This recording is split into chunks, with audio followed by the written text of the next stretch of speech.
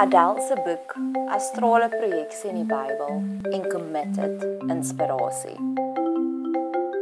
Met twee ander halfgeleesde boeke langs my bed, het ek Adele se bloedoffer op PDF gekoop 2 dae terug. Ek het 'n amazing reis deur hierdie boek gehad. Ek het lanklaas 'n boek gelees wat my so aangegryp het. Dis een van daardie tipe boeke wat jy sal maak om afsprake te kanselleer elke los minuut te gryp met beide hande om net 'n dieper kykie te kry in haar lewe. In haar oorwinningsreis oor die donkerte. Ek dink dit is so 'n mooi motto in die lewe. As Adel daardie vyand kon oorrompel, kan ons verseker ons klein probleme oorkom. Ek het ernstige fout maak. Fear of missing out on God's grace. En met Adele se boek het dit nou net eenmal weer dit bevestig. Sjoe, dat ons het nog so baie om te leer. Indien daar soveel donker werkertjies kan wees aan die donker kant wat so toegewyd kan wees en soveel krag kan verower, hoe ver sit ons Christene nie die pot mis nie. En ek sê dit met alle respek, maar dit klink na 'n rit, na 'n reis en ons sien net die punt van die ysberg. Want as die donker donker kant alles kom in vervals, kom duplikate. Hoeveel te meer skatte het God nie gereed vir ons nie? Hoeveel te meer wil hy nie nog ook vir ons doen nie? Ken jy die liedjie van Planet Shakers? Leave me astounded. Dis my nuwe gunsteling gebed. Leave me astounded, leave me amazed. Adele praat baie van astrale projeksie. Astral projection is a term used in esotericism to describe a willful out of body experience, a supposed form of telepathy that assumes the existence of a soul consciousness called an astral body that is separated from this physical body and capable of traveling outside it throughout the universe.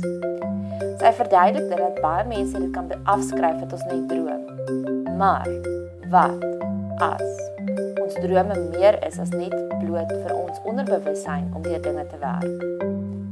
Astrale projeksie. Ek dink dit is ook in die Bybel. Jesus ontmoet vir Nathanael of eintlik Nathanael ontmoet vir Jesus moet ek eerder sê. Johannes 1 vers 49. Jesus sê vir Nathanael dat hy vir Nathanael gesien het onder die vyeboom. Daar is geen verduideliking meer nie.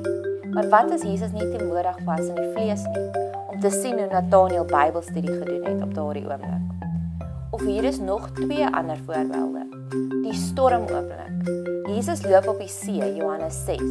Die disippels was die een oomblik nog omtrent in die middel van die see, maar die volgende oomblik was hy saam met hulle in die bootjie. En nog verder in vers 21 en dadelik het die skei by die land aangekom. Dadelik. En my gunsteling een is dis so duidelik, dis swart en wit in die Bybel. Uitroepteken. Handelinge 8 vers 39. En toe hulle uit die water opklim en die gees van die Here Filippus skielik weggevoer. En die hofdienaar het hom nie meer gesien nie, want hy het sy weg met blydskap gereis. Ek meen hallo, seriously, die gees Filippus skielik weggevoer en die getuie het hom nie meer gesien nie. Now you see me, now you don't. Ek was nou onlangs in Ponta de Ora En terwyl ons vir ure in die ry gestaan het by die grens, het ek nogal so skielike flippes gees wegvoer oomblik nodig gehad net om dadelik oor die grens te kom. En oor die drome en visioene.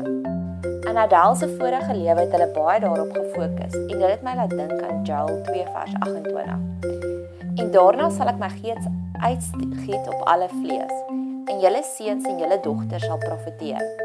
Julle ou mense sal drome droom. Julle jongelinge sal gesigte sien. Mag ons ook nou juis in hierdie tyd bid dat ons ook so 'n droomgees mag kry in oorvloed. Een van my gunsteling stukkies in Adele se boek is waar sy verduidelik van die engele wat rondom ons staan. Dit het al gebeur dat ons met quote, skus. Dit het al gebeur dat ons mense in die geesteswêreld aangeval het en dat die engel teenwoordig was, maar niks gedoen het om te help nie verder verduidelik sy dit. Die gebede van die Christene het hulle geaktiveer en ons het ons bes gedoen om te keer dat mense tot al God bid sodat die aanval vir ons makliker kan wees. Einde van die quote. Hoe wow is dit? Dat daar is engele, maar ons moet bid dat God hulle dat God vir hulle die opdrag gee om ons te beskerm. So ek bid en verklaar dit sommer nou dat alle engele rondom my en jou reg is vir aksie en dat God vir hulle die opdrag gee sal gee om te charge. Adele het al van 'n baie jong ouderdom af begin met rituele en offers. Hulle was so toegewy aan die roeping aan die donker kant. Wat as ons Christene, as ons die werkers van die lig so toegewy kan wees soos hulle was? Wat sou ons al bereik het? Al haar hele kinderdae lewe het amper gedraai rondom die tye, die opofferings. Dit was nie 'n bysaak nie, dit was 'n lewenstyl. Wat sal gebeur as dit ook ons lewenstyl begin word? Ek het 3 jaar terug begin om 2 dae van die week ernstige Bybelstudie te doen. Ek werk net 3 dae van die week. Maar nadat ek Adele se boek gelees het, is ek sommer nog meer committed om nog meer tyd te spandeer om nog meer te leer van God. Dis jammer om te sê dat dit 'n boek van die vat van so 'n donker verhaal om my werklik so te inspireer. Van ek wil soveel meer hê van God. Ek was lanklaas so geïnspireer om te leer. Ek was laas so geïnspireer om te leer toe ek na Ewan Swart se aanlyn intersessie podcast geluister het. Hoe hulle gebid het dat hulle op sekere okkultiese plekke bid en dan val pilare en monumente sommer om. Nou dis wat ek wil hê, daardie kragtige gebede. Mag ons meer committed wees in ons geloofsreis. Mag ons meer die manifestasie sien van God se krag, God se teenwoordigheid.